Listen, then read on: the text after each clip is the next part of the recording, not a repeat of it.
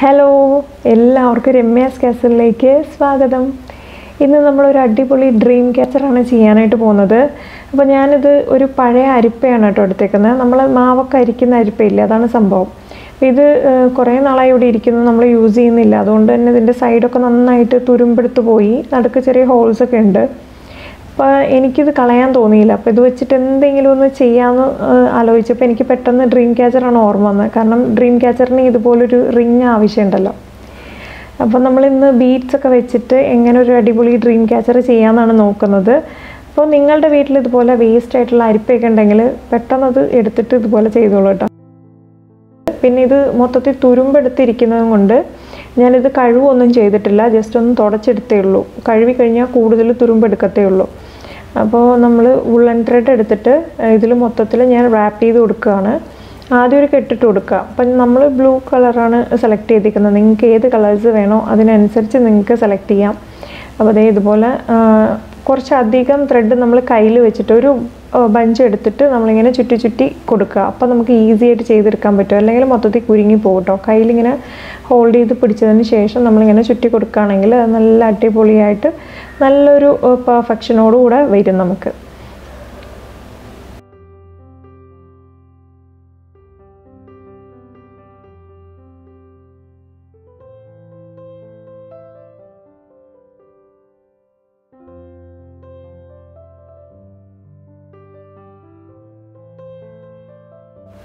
സാധാരണ dream catcher ചെയ്യുമ്പോൾ നമ്മൾ ഇതുപോലെ കെട്ടിട്ടിട്ട് കട്ട് ചെയ്ത് മാറ്റത്തില്ല. ഇതേ ത്രെഡിൽ തന്നെ ചിലന്തി വല പോലെ ഇങ്ങനെ നമ്മൾ ഡിസൈൻ ചെയ്തെടുത്തുകൊണ്ടേയിരിക്കും പക്ഷേ ഇന്ന് നമ്മൾ ബീഡ്സ് ആഡ് ചെയ്തിട്ടാണ് ഈ ഡ്രീം ക്യാച്ചർ ചെയ്യുന്നത്. അതുകൊണ്ട് നമ്മളിവിടെ കെട്ടിട്ട് കട്ട് ചെയ്ത് മാറ്റി.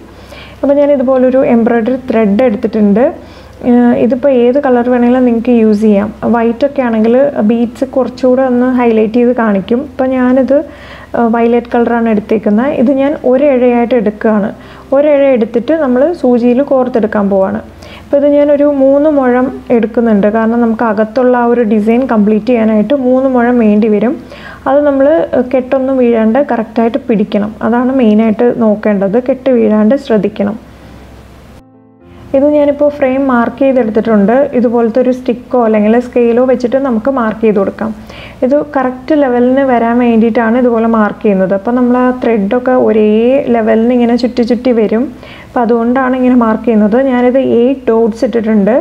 നിങ്ങൾക്ക് കുറച്ചുകൂടെ അടുത്തടി അടുപ്പിച്ചടുപ്പിച്ച് വേണമെങ്കിൽ ഒരു ഒരു ഇഞ്ച് ആ ഒരു ഗ്യാപ്പിൽ ഇതുപോലെ മാർക്ക് ചെയ്തിട്ട് എടുക്കാവുന്നതാണ് കേട്ടോ. ഇതിപ്പോൾ നമ്മൾ മാർക്ക് ചെയ്തിരിക്കുന്ന ഏതെങ്കിലും ഒരു ഭാഗത്ത് ഇതുപോലെ ഇങ്ങനെ കെട്ടിക്കൊടുക്കുക.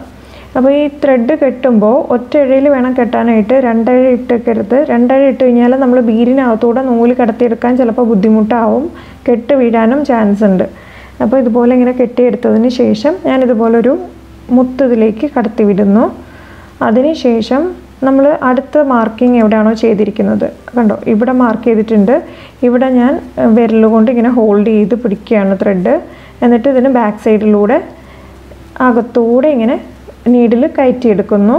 എന്നിട്ട് നമ്മൾ ഈ വെച്ചിരിക്കുന്ന ബീഡിനെ നമ്മൾ ഈ മാർക്ക് ചെയ്തിരിക്കുന്ന ഭാഗത്ത് കൊണ്ടുവന്നിട്ട് അവിടുന്ന് റൈറ്റിൽ നിന്ന് ലെഫ്റ്റിലേക്ക് നീഡിൽ കയറ്റി വിടുക അപ്പോഴത്തേക്ക് അവിടെ ലോക്കാവും ലോക്കാവുമ്പോൾ നല്ല ടൈറ്റായിട്ട് നിൽക്കും അത് നമ്മളൊന്ന് ഹോൾഡ് ചെയ്ത് പിടിക്കണം. അപ്പോഴേ നന്നായിട്ട് ടൈറ്റ് ആവത്തുള്ളൂ.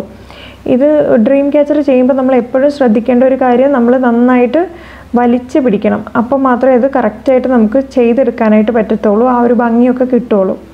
അപ്പോൾ അടുത്തത് ഞാനൊന്ന് സൂം ചെയ്ത് കാണിക്കാം കേട്ടോ അതെ ഇവിടെ മാർക്ക് ചെയ്തിരിക്കുന്നിടത്ത് ഞാൻ ത്രെഡ് ഹോൾഡ് ചെയ്ത് പിടിക്കുന്നു.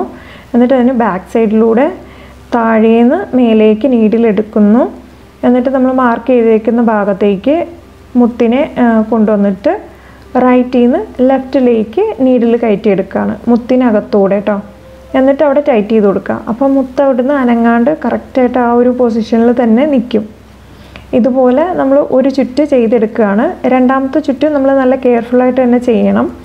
അത് ഞാനും പറയാം. അപ്പോൾ ഇതുപോലെ ഇത് ചെയ്യുന്നതൊന്ന് ശ്രദ്ധിച്ച് കണ്ടു കഴിഞ്ഞാൽ നിങ്ങൾക്ക് മനസ്സിലാവും. അപ്പോൾ നമ്മളൊരു ബാങ്കിൾ വെച്ചിട്ട് വേണമെങ്കിൽ നമുക്കത് ചെയ്ത് ട്രൈ ചെയ്ത് നോക്കാം. നമ്മൾ സാധാരണ തയ്ക്കുന്ന സൂചിയും നൂലും ഒക്കെ ഉണ്ടല്ലോ. അത് വെച്ചിട്ട് ഒരു ചെറിയ ബാങ്കിൾ എടുത്തിട്ട് അതായത് ഒരു ചെറിയ വള എടുത്തിട്ട് അതിലിതുപോലെ നൂലും മുത്തും ഒക്കെ വെച്ചിട്ട് നമുക്ക് ചെയ്ത് നോക്കാവുന്നതേ ഉള്ളൂ. ഭയങ്കര ഈസിയാണ് കേട്ടോ. നമ്മളത് ചെയ്തെടുക്കുമ്പോഴേ മനസ്സിലാവത്തുള്ളൂ എത്രത്തോളം.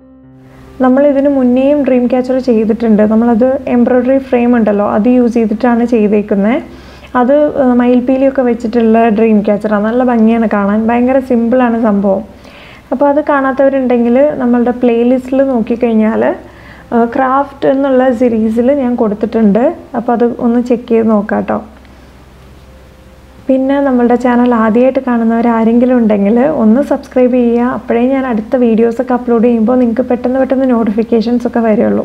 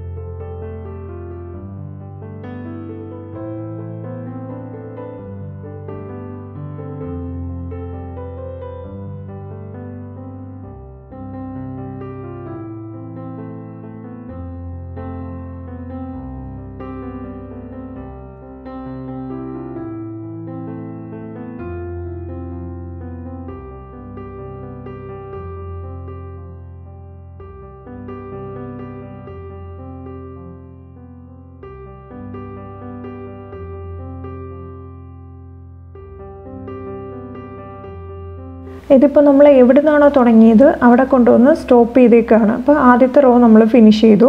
ഇപ്പോൾ രണ്ടാമത്തത് സ്റ്റാർട്ട് ചെയ്യുമ്പോൾ ഞാൻ ഗോൾഡൻ മുത്താണ് ഇതിലേക്ക് കടത്തി കൊടുക്കുന്നത്. ഇതുപോലൊരു ഗോൾഡൻ മുത്ത് കടത്തി കൊടുക്കുക അതിന് ശേഷം നമ്മൾ ആദ്യം ഫ്രെയിമിനകത്തൂടെ അല്ലേ എടുത്തത്. ഇപ്പോൾ ഈ ത്രെഡിന്റെ അകത്തൂടെ നീഡിൽ പുറത്തേക്ക് എടുക്കുന്നു.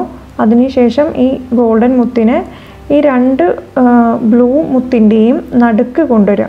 നടുക്ക് കൊണ്ടുവന്നിട്ടാണ് ഗോൾഡൻ മുത്തിനകത്തൂടെ അതായത് ഗോൾഡൻ മുത്തിന്റെ റൈറ്റ് സൈഡിൽ നിന്ന് ലെഫ്റ്റിലേക്ക് സൂചി കടത്തിയിട്ട് പിന്നെയും റൈറ്റ് സൈഡിലേക്ക് നമ്മൾ ത്രെഡ് വലിച്ചു പിടിക്കുകയാണ്.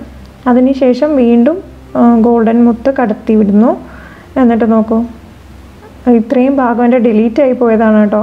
ഇപ്പോൾ കുറച്ച് ദിവസമായിട്ട് എന്റെ കുറച്ച് വീഡിയോസൊക്കെ കറക്റ്റായി പോകുന്നുണ്ട്. അങ്ങനെ പറ്റിയൊരു അബദ്ധമാണ് അപ്പം ഗോൾഡൻ ബീഡ്സ് ചെയ്യുന്ന അതേ രീതിയിൽ തന്നെയാണ് ഞാനിപ്പോൾ ചെയ്യുന്ന ഈ വയലറ്റ് ബീഡ്സ് ചെയ്തുകൊണ്ടിരിക്കുന്നത് ഇത് കാണുമ്പോൾ നിങ്ങൾക്ക് മനസ്സിലാവും. ഇതുപോലെ വയലറ്റ് ബീഡിനെ എടുക്കുക. നൂലിലേക്ക് കടത്തി വിട്ടിട്ട് ഈ രണ്ട് ഗോൾഡൻ മുത്തിന്റെയും നടുക്ക് വയലറ്റ് വരുന്ന രീതിയിൽ പിടിച്ചതിന് ശേഷം നമ്മൾ ഈ രണ്ട് ഗോൾഡൻ മുത്തിന്റെ അകത്തൂടെയാണ് സൂചി പുറത്തേക്ക് എടുക്കുന്നത്. അതിന് ശേഷം വയലറ്റ് മുത്തിന് അകത്തൂടെ സൂചി കടത്തി വിടുകയാണ് ചെയ്യുന്നത്. ഇതേ മെത്തേഡ് തന്നെയാണ് നമ്മൾ മൊത്തത്തിൽ ചെയ്തുകൊണ്ടിരിക്കുന്നത്. അപ്പോൾ അത് നിങ്ങൾ കാണുമ്പം കറക്റ്റായിട്ട് മനസ്സിലാവും.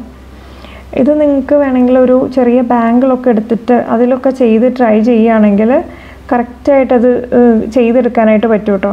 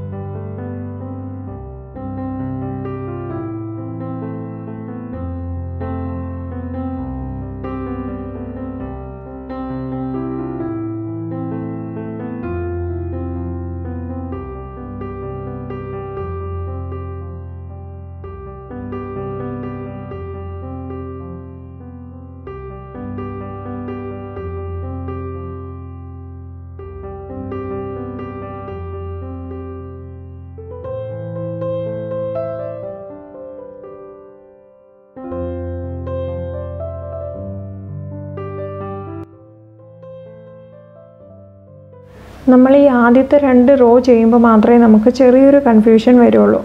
അത് കഴിഞ്ഞ് തേർഡ് റോ ഒക്കെ വരുമ്പോഴത്തേക്കും നമുക്ക് നൂൽ കുറയുകയും ചെയ്യും. അതുപോലെ തന്നെ പെട്ടെന്ന് നമുക്ക് ചെയ്യാനും പറ്റും. അടുപ്പിച്ചടുപ്പിച്ച് മുത്തുകൾ അകത്തേക്ക് വരില്ലേ? അപ്പോൾ നമുക്ക് പെട്ടെന്ന് ആ ഒരു കറക്റ്റായിട്ട് ആ ഒരു റൗണ്ട് ഷേപ്പിൽ നമുക്ക് ചെയ്തെടുക്കാനായിട്ട് പറ്റും. അപ്പോൾ നമ്മൾ ഫ്രെയിം മൊത്തത്തിൽ ചിലന്തി വല പോലെ നല്ല അടുക്കിനടുക്കിന് ചെയ്ത് കഴിഞ്ഞു.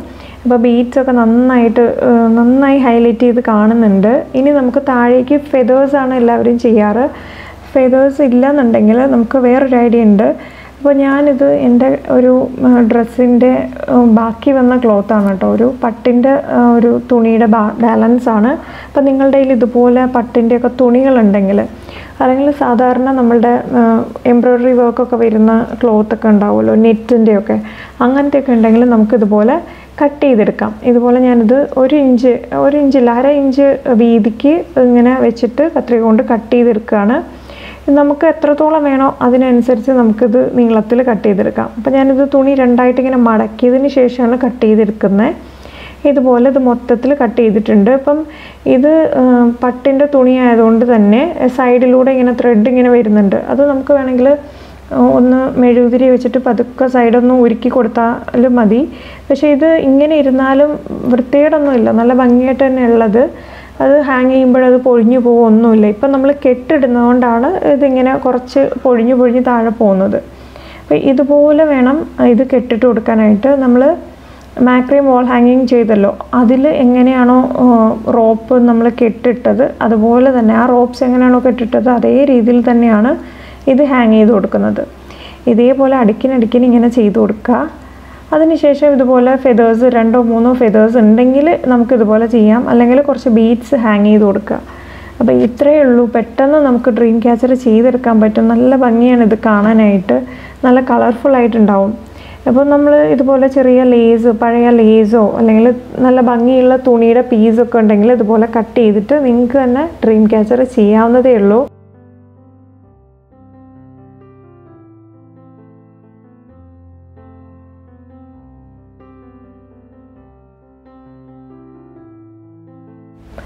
അപ്പോൾ നിങ്ങൾ എല്ലാവരും ഇതൊന്ന് ചെയ്ത് നോക്കിയിട്ട് എനിക്ക് നിങ്ങളുടെ കമൻസ് ഒക്കെ അയക്കണം കേട്ടോ. കാരണം ഇത് ചെയ്യാൻ അത്ര എളുപ്പമാണ്. കാണുമ്പം ആ നടുക്ക് കുറച്ച് വർക്കൊക്കെ വരുന്ന പോലെ നമുക്ക് തോന്നുന്നേ ഉള്ളൂ. ഭയങ്കര ഈസിയാണ് ചെയ്യാൻ. അപ്പോൾ ചെയ്ത് നോക്കുക.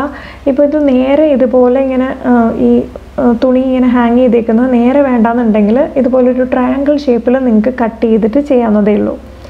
അപ്പം എല്ലാവർക്കും വീഡിയോ ഇഷ്ടപ്പെട്ടു എന്ന് വിചാരിക്കുന്നു. ഇനി നമുക്ക് അടുത്ത വീഡിയോയിൽ കാണാം.